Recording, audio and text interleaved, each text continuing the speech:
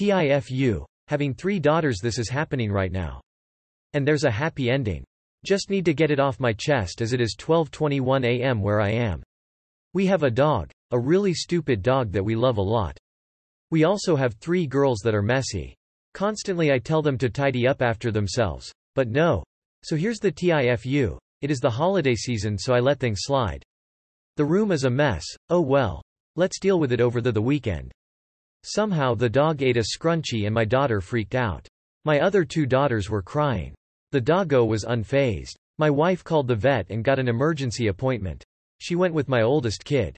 The emergency practice managed to get the dog to throw up. It wasn't one scrunchie, it was two, three pieces of Lego, an earring and a memory game tile that came out. So tomorrow morning my kids are going to clean up the living room. They do not know it yet. I did wake up my younger kids and told them the dog was going to be okay. Not sure about the bill, but love your pets and love your children. TLDR let my kids make a mess because it was Christmas. The dog went bonkers. You could use your dog as a safe deposit box.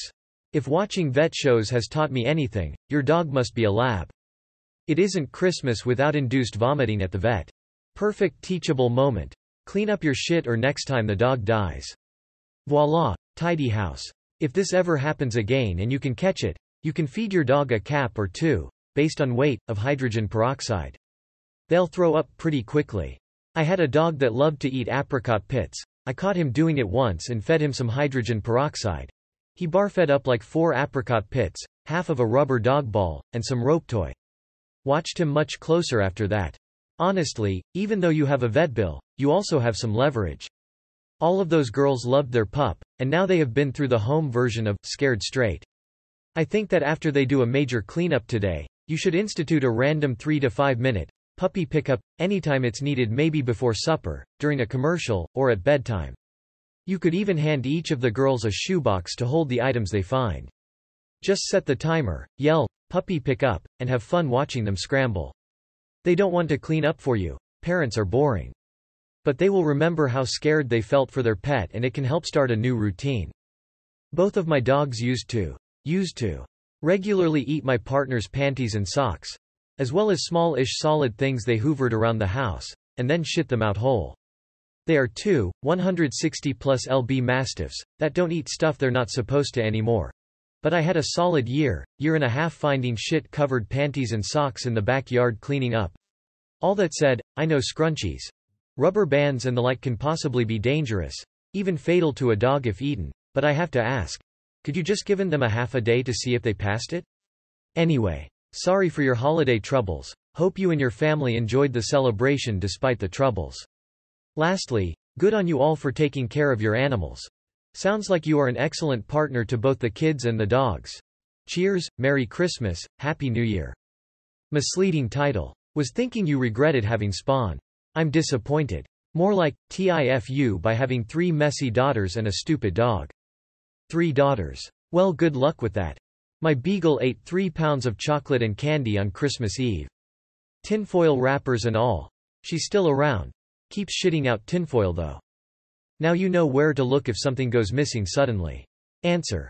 Dogs poop. Lol. So funny. My dogs ate a hole in the drywall once. Also my prescription glasses, two pairs, four years apart, a $20 bill, an ice pack, a glove, a dish scrubber, the rear view mirror frame in my car, a seat belt latch in my car, and so, so much more. And lived to tell the tale. One had to have surgery for a blockage once because she swallowed a tennis ball, but she survived that too.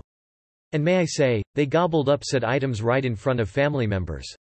That feeling when you're yanking a slobbery object out of their mouth, Sternly commanding, leave it. Leave it. Here's a treat. A treat. And you lose your grip and down it goes. You're like, now what?